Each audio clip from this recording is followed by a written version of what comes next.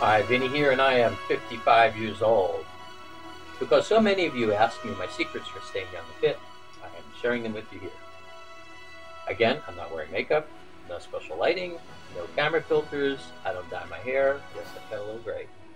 Uh, no sponsors for any of the products or services we discuss, and we're talking aesthetic procedures, diet, exercise, mental health, and spiritual practices because youth is an inside job as well as it is outside.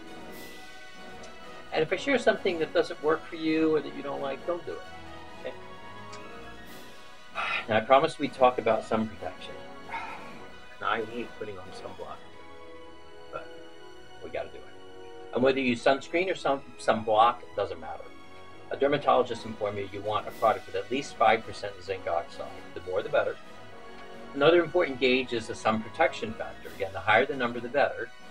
For daily use, I like to use Shiseido because it doesn't seem to clog my pores or cause me blemishes. It says 12.5% zinc oxide is SPF 42.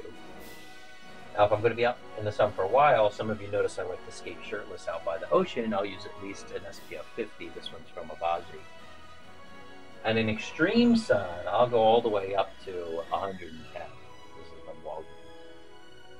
Now, some will tell you that an SPF above 50 doesn't matter.